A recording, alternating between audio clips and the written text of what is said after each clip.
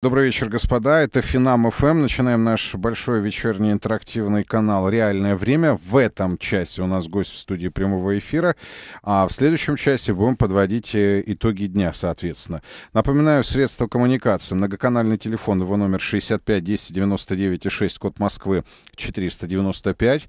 А, звонки на этот номер. Finam.fm — это наш портал в интернете для ваших писем. Кроме того, там идет прямая веб-трансляция. И кто смотрит, тот уже видит Станислава Белковского в московской студии Финам ФМ. Я тебя приветствую. Добрый Приветствую. вечер. Да. А, значит, я обещал, а, точнее, мы со Стасом Да. обещали, да, а, построить программу на двух исключениях. Не упоминать в СУе фамилию Путина и фамилию Навального, если ты помнишь, да, мы действительно с тобой договаривались об этом. А, и второй момент, по максимуму э, предоставить тебе такую возможность, чтобы ты поотвечал на вопросы слушателей, да. То есть я, я практически умолкаю слушателей Финам ФМ, я к вам обращаюсь, господа, да. А, что называется, без посредников, напрямую вы общаетесь сегодня со Станиславом Белковским, задаете любые интересующие вас вопросы. То есть надо выжить из Белковского по максимуму сегодня, да. Вот все, что вас интересует, пожалуйста, задавайте Стасу вопросы. Я думаю, он с удовольствием на них будет отвечать. Тем более на сайт их уже пришло много. Они разные. Но, к сожалению, понимаешь, там о, о, в СУе вспоминают этих двух персонажей. Ну, по принципу э, бессмер- Поступление вопроса. бессмертной трагедии Шекспира «Венецианский купец» я нашел выход из положения. Путина я буду называть Владимир Владимирович, а Навального Алексей Анатольевич. И тем самым тем упоминание самым- их фамилий в СУе мы избежим. Отлично. Вот в таком вот варианте мы будем работать э, этот час, поэтому, простите, не, а, не теряйте времени. Звоните на 65 10 99 6, пишите на finam.fm, смотрите, слушайте и, самое главное, участвуйте а, в наших сегодняшних разговорах. И сразу э, отвечу Дмитрию, который вот пишет, что а, вам что, звонки запретили выводить? Э, Вторая программа без слушателей. Юрий, исправляйтесь немедленно. Значит, э, Дмитрий, у меня на самом деле вот в эти две, а, в эти два минувших э, дня в двух э, программах «Реальное время» не было возможности вывести телефонные звонки, потому что были споры, были достаточно э, серьезные полемические высказывания а, и обсуждения в эфире. Я исправляюсь. То есть вот на, на Белковском я сегодня исправляюсь. Да? Максимальные ваши звонки и максимальные ваши а, письма на сайт. Я предлагаю начать, вот Начать, в таком да. да, на- значит, да, в таком режиме а, работать со слушателями радиостанции э, Финам ФМ. Добрый вечер, вы в эфире. Как вас зовут? Добрый вечер, меня зовут Владимир. Да, а, добрый, Добрый вечер. вечер. Мгм. Очень приятно, Станислав. А, Читаю ваши комментарии в Фейсбуке, едкие, смешные, очень здорово. Вопрос следующий. Как бы вы могли прокомментировать ситуацию, которая сейчас с так называемым протестным движением? Ну, Я имею в виду, с вашей точки зрения, его будущее, закат, развитие затухнет, во что выльется, ну и, соответственно, какие-то последствия может, будет иметь для нашей политики. Да, спасибо большое. А, Протестное движение будет расти и развиваться, поскольку ситуация отчуждения активной части российского общества от власти нарастает. И на сторону активной части общества переходит все большее количество отрядов власти. Это и есть характеристические признаки перестройки 2, о которой мы говорим в этом эфире уже давно. Другое дело, что состав лидеров протестного движения будет меняться, потому что нынешняя когорта лидеров самопровозглашенная, недостаточно легитимная, ее никто не выбирал. У нее общая во многом кровеносная система с властью. Это мы видим хотя бы на примере того, как действуют лидеры народных протестов. Вот, например, в свое время мы смеялись над Владимиром Владимировичем за то, что он э, является лидером, но не членом партии «Единая Россия», в связи с чем я не раз вспоминал раз- э, э, в различных эфирах старый советско-еврейский анекдот «Рабинович, вы член партии, нет, я ее мозг». Потом мы смеялись над Михаилом Дмитриевичем Прохоровым, чью фамилию можно упоминать, что он создает партию «Гражданская платформа» и сам в Мы нее не его в входит. стоп-лист не ставили с тобой, Да. да. А вот сегодня выясняется, что Алексей Анатольевич некто тоже создает партию и тоже в нее не входит. А кроме того, есть дело Кировлеса против Алексея Анатольевича, который не стоит выеденного яйца. А навстречу ему движется так называемый Бастрекин Гейт, который тоже не стоит выеденного яйца, потому что главным аргументом является гигантский чертог в Праге площадью 46 квадратных метров, Который ты назвал халупой. да, над котор- который стоит явно меньше, чем квартира Алексея Анатольевича в Марине, хотя я не переоцениваю ее всемирно-исторического значения. И которую Бастрыкин давно отдал бывшей жене. И при таком уровне аргументации, я думаю, что лидерам протестного движения придется задуматься над тем, чтобы немного потесниться и дать дорогу молодым. Сегодня Станислав Белковский без купюр, без цензуры и без посредников в реальном времени на Финам ФМ. Значит, э, будем так. Один звонок на 65 10 99 6 код Москвы 495. Одно письмо на finam.fm, ну, чтобы соблюсти такую порядочность, да, э, по отношению к тем, кто написал, тем более здесь география, Стас, э, обширнейшая. Василий Воронеж пишет. Я буду, с вашего позволения, все-таки слегка буду подсокращать, да, вопрос, потому что здесь целые полотна. Потом на досуге сможешь почитать mm-hmm. отдельно, да? Обязательно. А, значит, первый вопрос. Э, как э, Станислав Александрович оценивает перспективы формирования политической силы, основанной на консервативно-государственной, экономически левоориентированной платформе, имеется в виду Делягин, Хазин, Глазьев, Андрей Кобяков и другие? Пока как достаточно скромный, Гладьев стал советником Путина. Э, другие перечисленные в этом вопросе представители оппозиционных сил пока не проявляют тяготение к э, Владимиру Владимировичу. Вопрос сейчас вообще не в идеологии. Вопрос в неких принципах, относительно вокруг которых должна объединиться вся оппозиция. И эти принципы, на мой взгляд, это мирный переход к 2018 году к учредительному процессу и парламентской демократии европейского образца. Все остальное — это уже детали. И еще один вопрос от Василия из Воронежа. Как вы думаете, имеет ли перспективы экологическое протестное движение? Здесь приводится пример Воронежской и Вологодской областях. К своему студу я, к сожалению, не в курсе. А, здесь речь, речь идет о конкретных заповедниках. Каковы перспективы таких региональных протестных движений и их выход на федеральный уровень? Я считаю эти перспективы достаточно хорошими. Уже сегодня они могут решать, добиваться решения конкретных вопросов в регионах и на местах, и, консолидируя свои усилия, смогут в течение двух-трех лет стать серьезной заметной силой на федеральном уровне, особенно в условиях либерализации процесса регистрации федеральных партий. Ну, то есть ты считаешь это перспективой? Да. Добрый вечер, в эфире. Как вас зовут? Здравствуйте. Добрый вечер. Как вас зовут? Простите. Сергей, я из Москвы. Да, Сергей, пожалуйста. Выключите приемник, пожалуйста. Я хотел спросить ваше мнение по поводу России и ВТО. В целом, хорошо или плохо? Для кого хорошо, для кого плохо? Угу, спасибо. Неоднозначно. Хорошо для правящей российской элиты, для которой членство в ВТО есть в первую очередь фактор престижа и их личной интеграции в мировую экономику. А, плохо для целого ряда российских отраслей, в первую очередь машиностроения, сельского хозяйства, отчасти финансового сектора. Если спро... Я не экономист, и поэтому не берусь делать твердых суждений о ВТО, но моя сумма оценок 60 на 40 против ВТО. 60 на 40 но все-таки Если спрашивать меня, ты склоняешься к негативному. Да, да я склоняюсь к негативному. Ситуации. Угу. Так, идем дальше. Ну, буду а по письмам все-таки отдавать приоритет иногородним, да, потому что москвичам легче дозвониться до студии, а иногородним у них только вариант это написать письмо.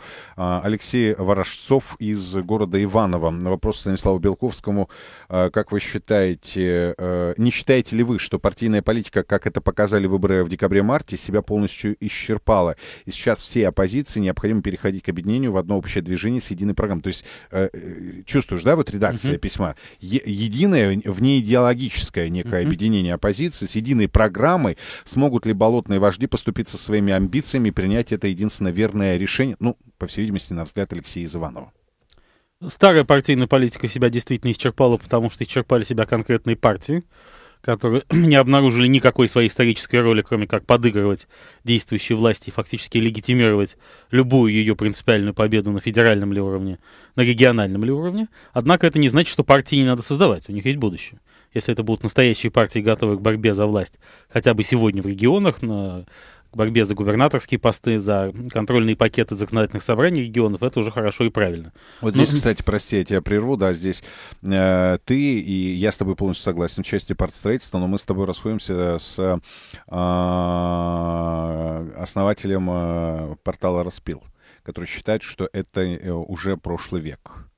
Но э, ну, тем не менее, как надо Анатолий Александрович он, по-моему, да? Алексей Анатольевич. А, Алексей Анатольевич. Анатолий Александрович это Собчак, это проговор по а, Фрейду. Это оговорка по Фрейду, слушай, точно, да. А, Алексей Анатольевич, э, э, тем не менее, партию свою создает, только в нее не вступает, следуя примеру двух великих предшественников, которых мы сегодня упоминали. Но я согласен с радиослушателем э, и в другом. Угу. полюсе его тезиса. Я сам тоже сегодня произносил в этой студии, что есть вопросы, вокруг которых должны объединиться все партии, все оппозиционные структуры, независимо от их организационных... Еще раз напомню, главный тезис. Главный тезис — переход России к парламентской демократии европейского образца к 2018 году, что означает Владимир Путин — последний всенародно избранный президент России. Данная мотивация является надпартийной и внеидеологической. Да, совершенно верно. Это Станислав Белковский. Сегодня уникальная у нас программа. Стас напрямую отвечает на ваши звонки и ваши письма. Я только предмодерирую, с вами здороваюсь, так что пользуйтесь этой возможностью. После краткого выпуска новостей продолжим. 19 часов 17 минут. Это реальное время. И сегодня у нас уникальная программа. Станислав Белковский без посредников, без купюры, без цензуры отвечает на ваши вопросы. 65 10 99 6. Код Москвы 495, номер многоканального телефона. Финам.фм. Эм. Это наш портал в интернете. Там идет и прямая веб-трансляция, то есть можно смотреть. Стаса надо смотреть. Его надо смотреть, понимаете? Его надо не только слушать. Но если есть возможность посмотреть, делайте это, да. А Вера из Ухты Коми пишет, ура, не опоздал. Понимаешь, вот где тебя слушают? В э, Ухте. Республика Коми, да, Русский Север. Потрясающая аудитория Финам ФМ. Михаил спрашивает, скажите, пожалуйста, почему, по вашему мнению, Америка так мягко критикует, я тебе цитирую письмо, а, власть, э, имеется в виду российскую, за отсутствие демократии, почему были приняты а, прошедшие в России выборы, ну, в смысле легитимированы, да, фактически Западом. А, критики почти не было. Спасибо, Михаил. Америке абсолютно наплевать на внутренние российские дела.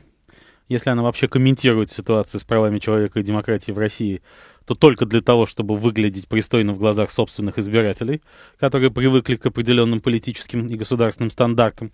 Э, Владимир Путин, несмотря на всю его антиамериканскую риторику, которая часто прорывается, на международной арене, как правило, действует в интересах Америки. В конце концов, перевалочная база НАТО находится у нас э, в центре России.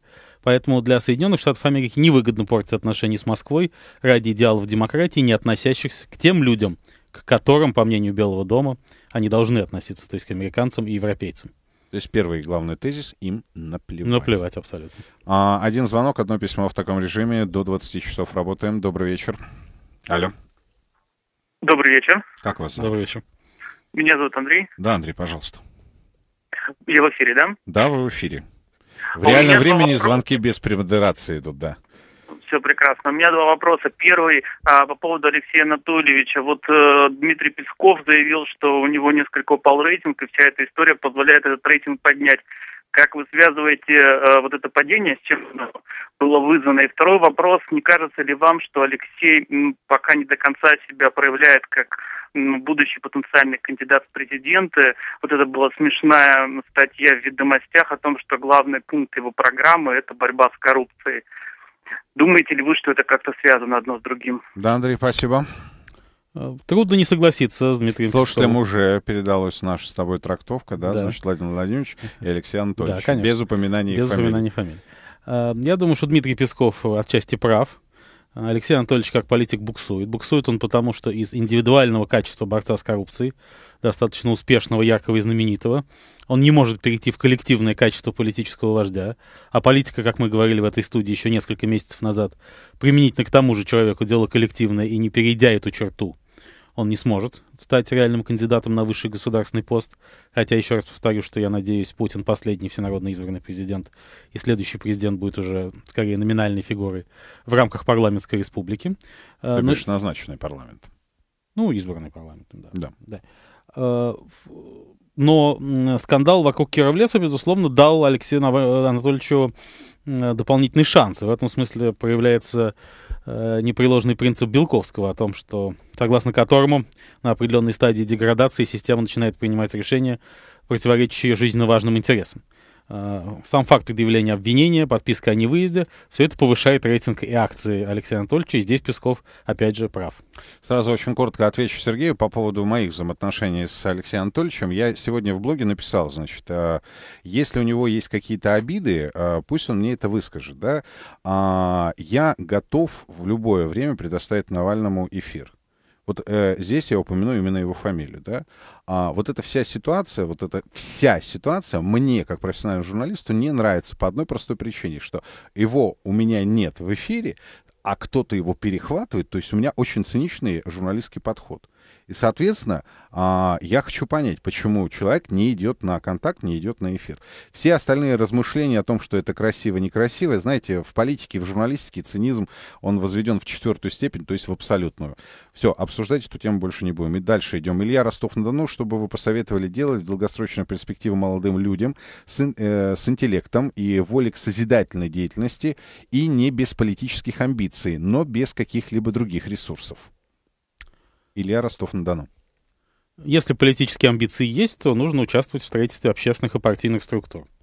Для этого сейчас есть все возможности. С помощью этих структур можно участвовать в борьбе за власть сначала на муниципальном, затем на региональном уровнях и готовиться к переходу э, к борьбе за власть на федеральном уровне. Я уверен, что Кремль готов на дальнейшие уступки, только при условии, что оппозиция откажется от криков «не забудем, не простим», и что призрак черенка от лопаты, вставленного Муамару Каддафи понятно куда, и больничной каталки Хосни Мубарака, как-то исчезнет и растворится в тумане истории.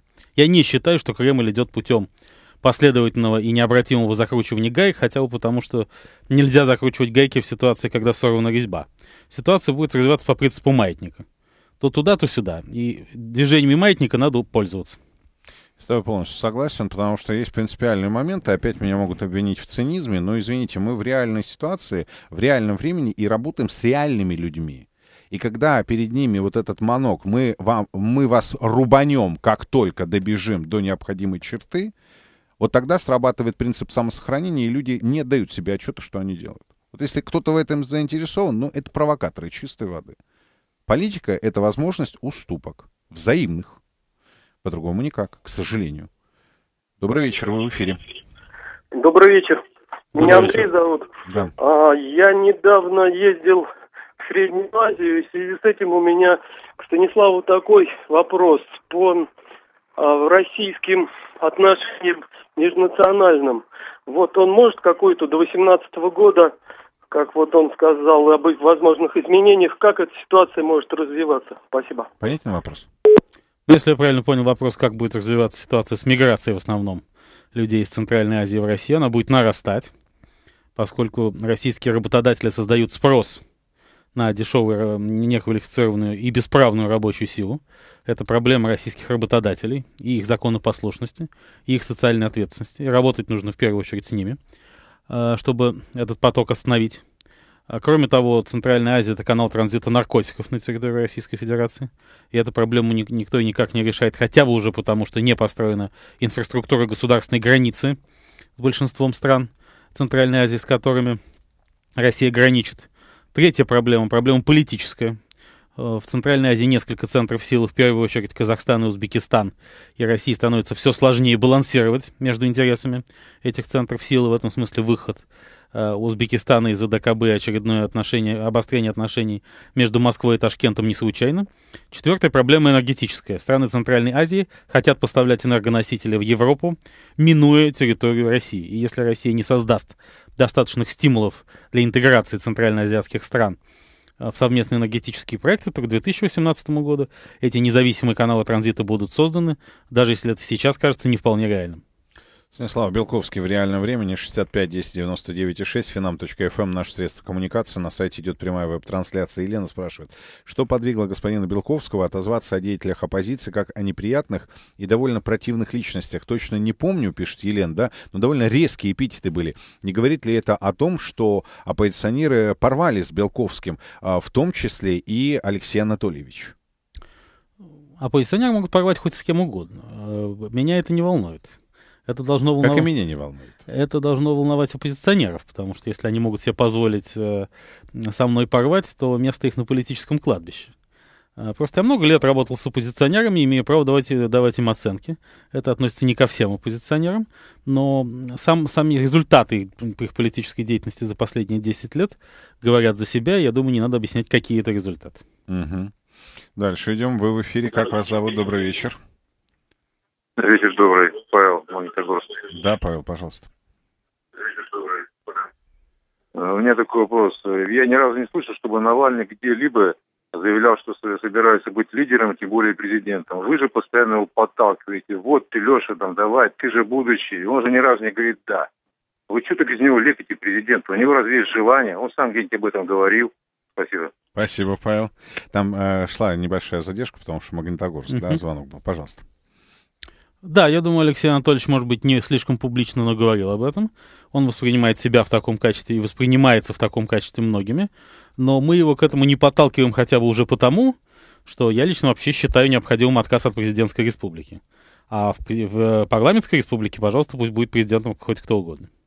А, ну и в этой же связи еще один вопрос от Максима из Екатеринбурга, который, и, и не только он, я просто его, и- именно его вопрос возьму за основу. А, Юрий Станислав, вопрос обоим, за кого отдадим свой голос на президентских выборах, за Михаила Борисовича или Алексея Анатольевича? А, я присоединюсь к Белковскому, я э, так устранюсь от э, ответа. А, я согласен, парламентская республика.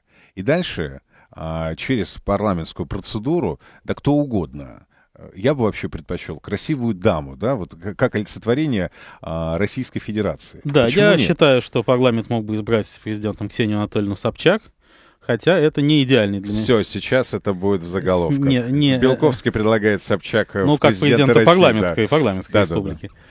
А, Помнишь, я тебе сказал, что уже приговор по Фрейду, по Фрейду уже Да, был. да, да. Но, ну, ты сам сделал такую подачу, после которой я не мог не А, ударить а- мячу. а я никогда не скрывал, что я очень уважительно отношусь к Ксении Да. Анатольевне, и это всячески подчеркиваю. А, Но я вообще-то сторонник конституционной монархии, то есть парламентской демократии именно в этом формате. Я надеюсь дожить до того дня, когда восстановленный в правах император самодержец будет короноваться, но не в Успенском соборе Кремля, что само по себе является символом монгольского вектора развития России, а в старейшем храме страны, в Святой Софии в Новгороде. Ну, а если на полном серьезе я тебе задам вопрос, а кто может тогда претендовать на, на столь высокий трон, пусть и даже церемониальный?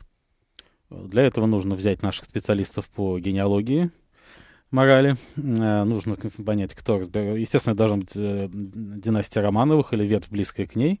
Нужно взять специалистов. Ну, ты на полном серьезе это говоришь? Да, конечно.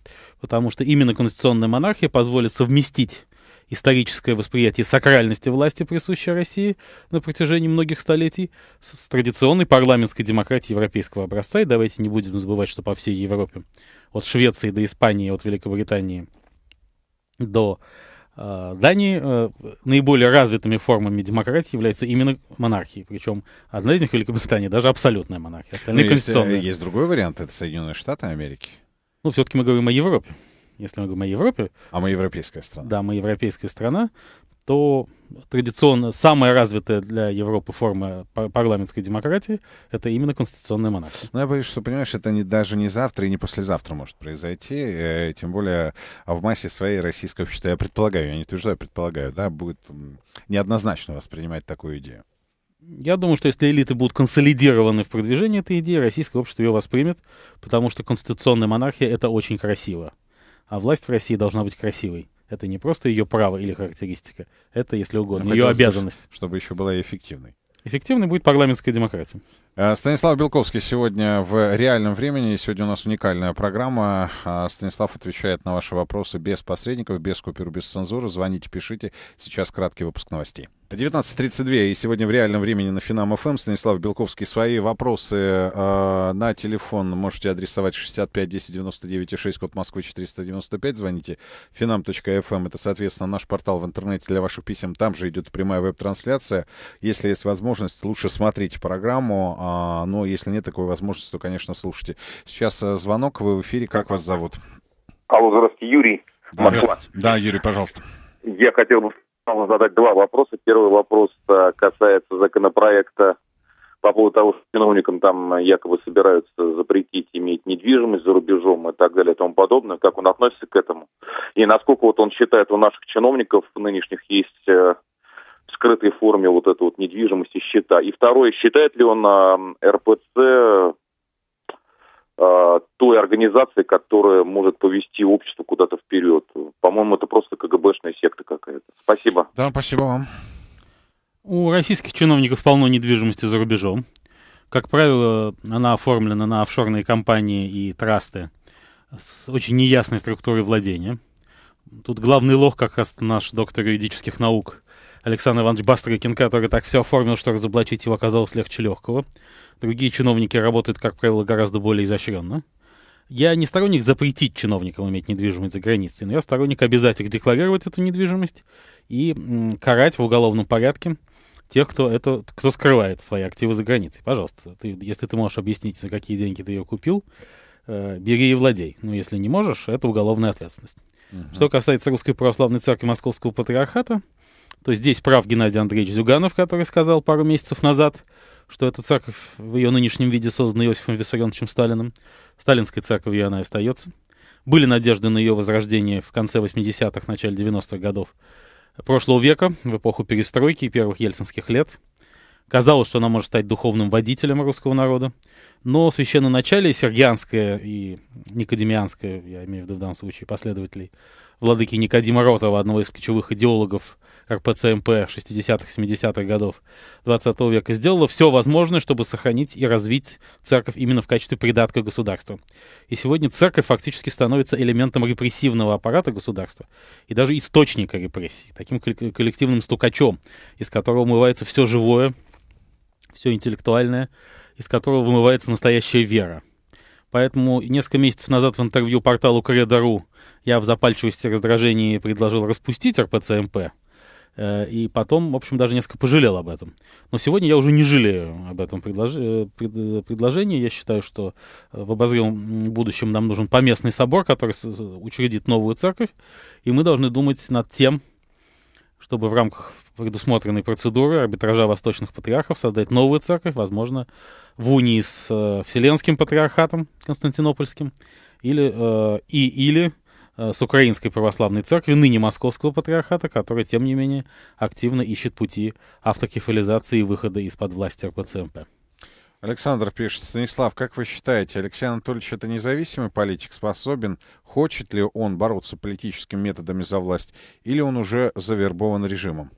Я уверен, что Алексей Анатольевич не завербован режимом, это достаточно сильный человек.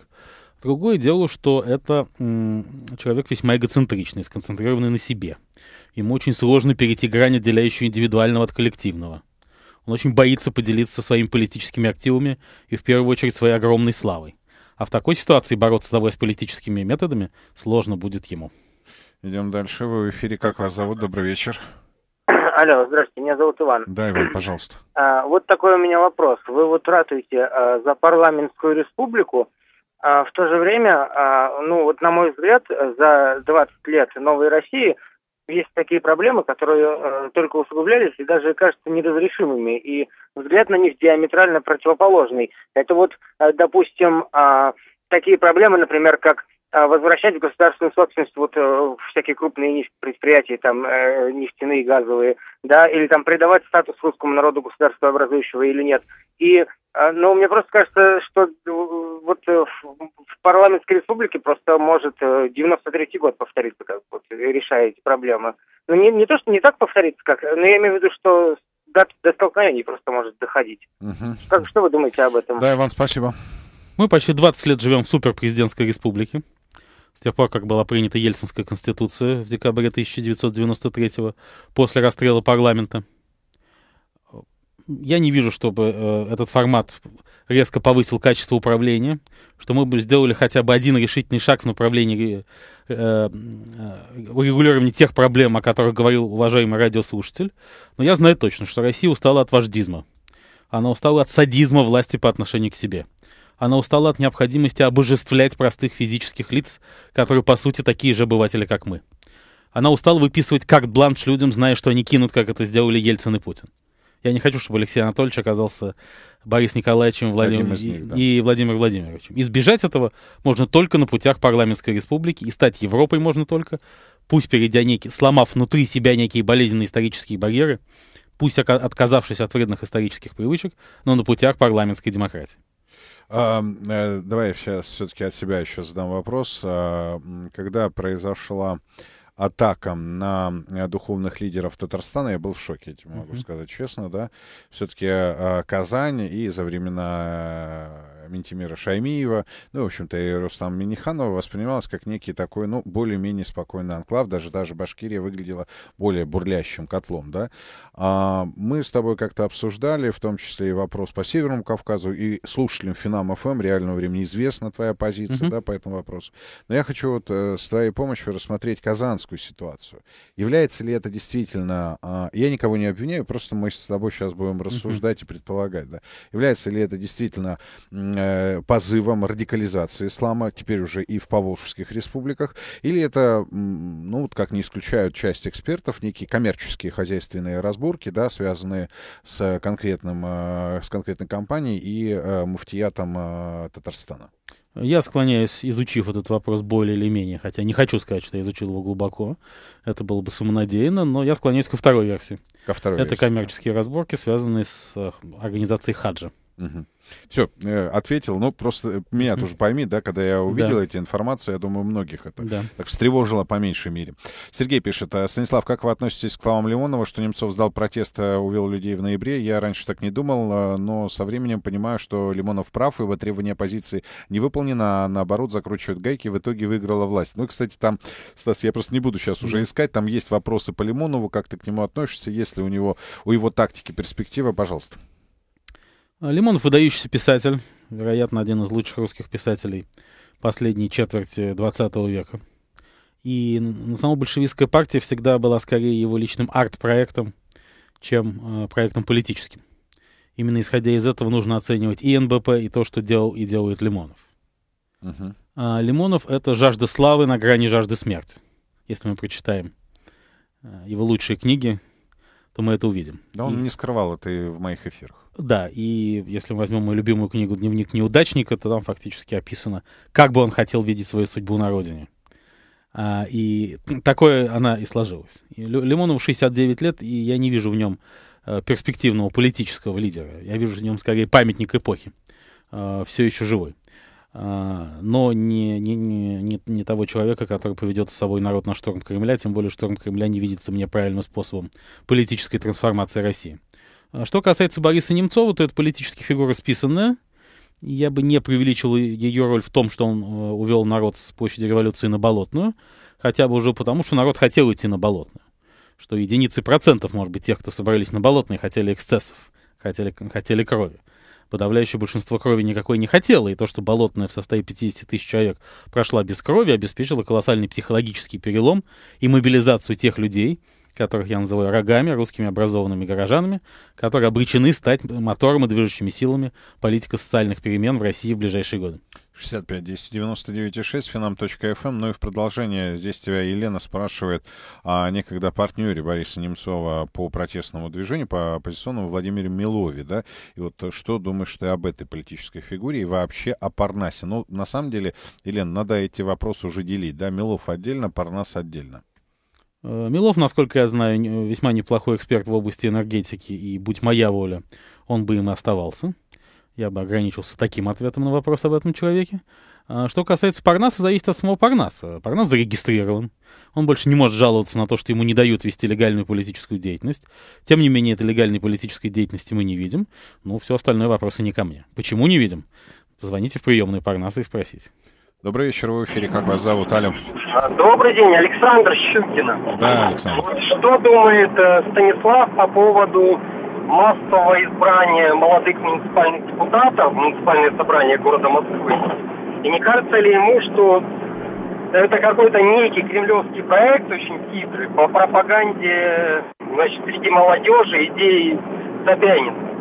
Вот на примере депутата Максима Касса, поскольку я из Щукина, поэтому слежу за ним вот все его идеи там по поводу платных парковок, по поводу развития общественного транспорта, ущерб автомобильному, все это как-то очень совпадает с идеями правительства Москвы.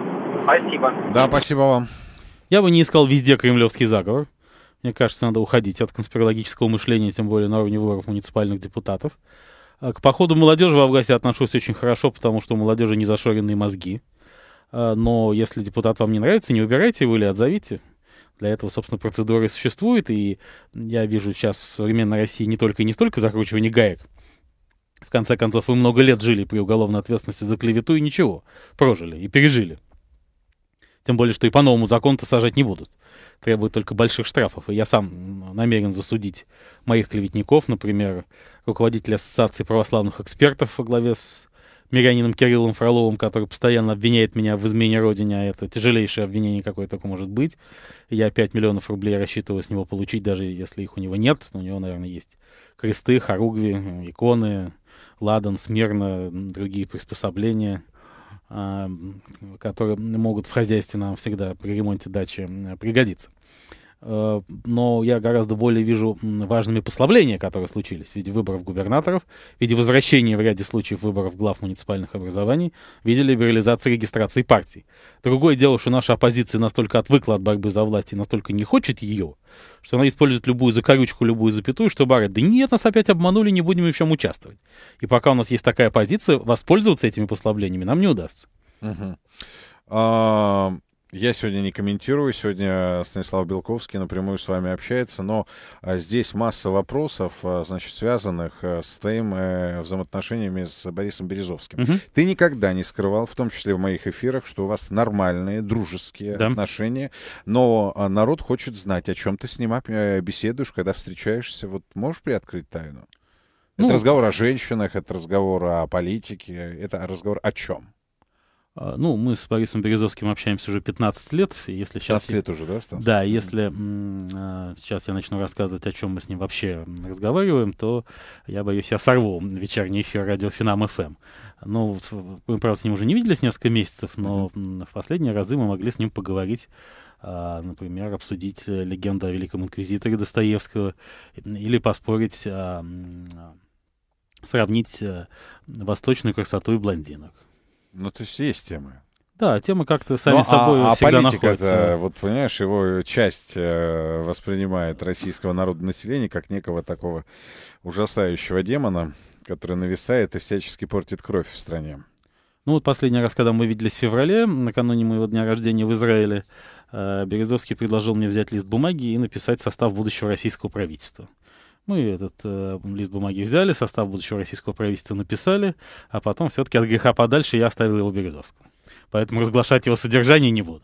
Но через какой-то промежуток времени это дело обнародуется. Ну, когда сейчас у Березовского финансовые проблемы, если он не отсудит у Абрамовича крупную сумму денег, а оглашение вердикта ожидается в ближайшее время, я думаю, придется нам этот листок продать на Сотбис и поделить пополам. Станислав Белковский, он в реальном времени. Продолжим после краткого выпуска новостей. 19.49, Станислав Белковский в реальном времени. Не будем э, тратить времени попусту. 65 10 99 6 код Москвы 495 finam.fm наше средство коммуникации. Звоните, пишите, смотрите э, прямую веб-трансляцию на нашем э, сайте. Добрый вечер, в эфире. Как вас зовут? Здравствуйте, это Максим Кац. Я вот опять а, вас так. Это вот тот самый депутат, да, о котором говорил один слушатель. Кто же не знает старика Кац? Да, кто не знает старика Кац. У нас хорошая традиция сложилась. У вас в эфирах со Станиславом меня называют кремлевским проектом уже второй раз. Вот второй раз я хочу, в общем, сообщить, что это, конечно, не так, и я пошел, в общем, полностью самостоятельно, а идеи доношу, которые узнал у урбанистов, у которых учился, и к современности не имеет никакого отношения. Максим, а ну тогда, коль скоро вы дозвонились, я вам встречно задам вопрос. А как вы считаете, кто заинтересован в том, чтобы вас так вот презентовать как кремлевский проект? Это э, чьи происки? Ой, да ничьи, просто у людей в головах вот это вот дело сидит, что если кто-то там к нему много внимания, то наверняка это чей-то проект так как сейчас э, нет особо кандидатов в Госдеп да Кремль, то меня то в Госдеп, то в Кремль определяют. Но я хотел заметить, что я никогда вас, Максим, не называл кремлевским проектом по поводу э, выборов мэра Омска. Я просто говорил, что это несерьезно, и этим не надо было ну заниматься. А сейчас вас кремлевским проектом назвал радиослушатель, а вовсе не я. Да, Максим, ну, спасибо. Да, да, да, да. У меня вопрос, да. вопрос-то был, я, в общем, давно вам звонил, просто это еще на человек дозвонился. А, я хотел эту Станислава узнать э, такую тему. А, по-моему, сейчас у всех объединений каких-то независимых людей в стране не обязательно оппозиции, а тех, которые не связаны там с властью. Есть там одна общая проблема, что у них э, нету, во-первых, никакого тыла, во-вторых, нету никакого желания, возможности, и вообще они даже не думают о том, что создавать себе какой-то тыл. То есть э, нужны ведь структуры, там, человек, который занимается какой-то политической или там общественной любой другой деятельностью, ему нужны помощники, там, аппарат какой-то, без этого он не может существовать. А у нас, как бы не то, что у нас, там у независимых людей есть только фронт. То есть можно выйти на улицу, там пошуметь, покричать, перед наблюдателями прийти на выборы, но потом разойтись.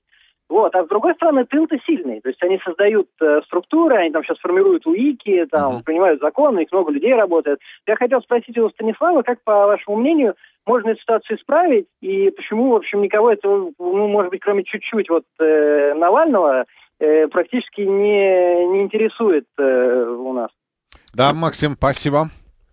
Потому что никто не заинтересован в общем успехе, э, все хотят только повышения личной капитализации в медиапространстве, а для этого тыл совершенно не нужен. Я считаю наиболее эффективным способом создания тыла участие в выборах любых уровней. Оппозиция уже профукала осеннюю выборную страду 2012 года, по большому счету. Но, бог даст, в 2013 мы увидим что-то новое, и, возможно, те, кто смогут создать тыл быстрее и эффективнее других, те и выйдут на авансцену, потеснив старые лица, потому что в нашу эпоху стремительно развивающихся коммуникаций ротация политиков на авансцене может быть беспрецедентно быстрой, гораздо быстрее, чем мы привыкли за всю нашу предшествующую жизнь и историю человечества. Саш, с тобой не согласиться, время ускорилось. Василий спрашивает тебя, каковы перспективы а, краснодарского губернатора Ткачева. Ну, я так понимаю, вопрос еще и заключается в том, отправят ли в отставку. Идет э, колоссальная борьба за пост губернатора Краснодарского края. Ткачев опирается на очень серьезные лоббистские ресурсы, и он опирается, конечно, на олимпийский проект Сочи-2014, потому что Путин боится спугнуть ситуацию. Он боится, что смена региональной власти менее чем за, за два года до Олимпиады может нанести колоссальный урон олимпийскому проекту. Это, Это главный... пугли... пугливость имеет э, под собой основу? Ну, Пу- ну, Путин всегда так поступает. Он боится рисковать в таких ситуациях. Он лучше хочет э, иметь плохого руководителя, но стабильного, чем вносить какую-то новую струю, которая привнесет к ротации, приведет к ротации кадров на всех уровнях, а вот, вот уже Олимпиада за поворотом. А, поэтому Вероятность отставки Ткачева я пока оцениваю как менее 50%, хотя, еще раз повторю, за пост идет огромная борьба, в ней участвуют такие титаны, например, как Олег Дерипаска, глава компании «Базовый элемент». Еще некоторые игроки сравнимого уровня и масштаба, поэтому на 100% я его предсказывать не стал. Угу. Добрый вечер, в эфире, как вас зовут? Добрый вечер, меня зовут Федор. Да, Федор. Город Полтава, город Полтава Украина. Добрый вечер. А, Станислав, вопрос такой по поводу парламентской республики. А, вот если налоги с Украины, э, собственно, где вероятность того, что это будет успешным э, в рамках вот этой всепроникающей коррупции, которая существует в текущем э, в текущей ситуации в Российской Федерации. Ведь если данный момент э, устранить, ну, вопрос коррупции, то, возможно, и в и в других формах правления будет порядок. Э, и тогда вопрос, собственно говоря, вот ваше мнение, как можно эффективно, собственно говоря, избавиться от, корру- от коррупции, а не как сейчас это, собственно говоря, делает Дмитрий Анатольевич. Угу, ну, спасибо. Коррупция может существовать и при президентской... Смотри, у нас, э, значит, э, в Украине, да, люди считают, что с коррупцией по-прежнему Дмитрий Анатольевич у нас борется в России. Это, это примечательный момент. Угу. Ну, что же должен делать Дмитрий Анатольевич? А, коррупция существует при любых формах правления. Все зависит от моральных установок элит. Мы видим пример Грузии, самой коррумпированной республики бывшего Советского Союза, которая сегодня является наименее коррумпированным государством на пространстве бывшего СССР, причем эти перемены произошли за считанные годы. Поэтому рецепт борьбы с коррупцией — это тотальная смена политической элиты на молодых, на тех, кто хочет жить и работать в Европе. Плюс парламентская республика, потому что нынешняя система тотальной коррупции э, в России заложена была именно благодаря суперпрезидент, э, из-за суперпрезидентской республики. И начиналось все с залоговых аукционов и э, волонтаристских решений Бориса Ельцина. При советской власти такой коррупции в РСФСР не было. Михаил пишет, Станислав, вы, вам не кажется, что вы сами себе противоречите? Вот Милов как раз и стоит на том, чтобы участвовать в выборах и тому подобное. И не ноет, а вы его как-то в игнор отправили. Я совершенно не отправил его в игнор. Я просто сказал, что мне Это кажется... Я процитировал что... письмо. Да, я просто сказал, что этот человек гораздо ярче и эффективнее проявил бы себя, как мне кажется. Это только мое частное мнение качестве эксперта по энергетике, поскольку его попытки создать какие-то коллективные сущности в политике пока не кажутся мне успешными именно в силу его личных качеств, а не тех или иных идеологических приоритетов. Я сейчас выражаюсь очень политкорректно. Добрый вечер, как вас зовут?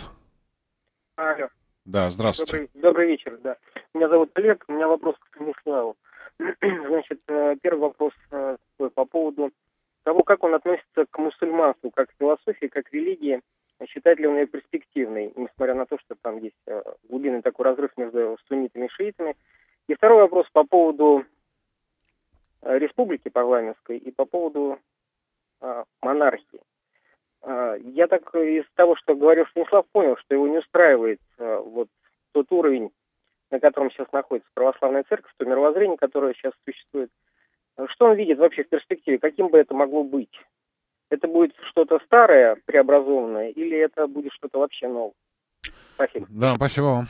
Ислам одна из великих мировых религий, она никуда не денется, она будет развиваться и оставаться одной из самых влиятельных глобальных сил, в том числе и в политическом смысле. И в России влияние ислама будет расти. Другой вопрос, чтобы оно не противоречило ни светскому характеру нашего государства, ни его историческим устоям, где все-таки ключевую роль э, играет христианство. А что касается монархии, то ее восстановление может идти параллельно с становлением новых структур э, русской православной церкви.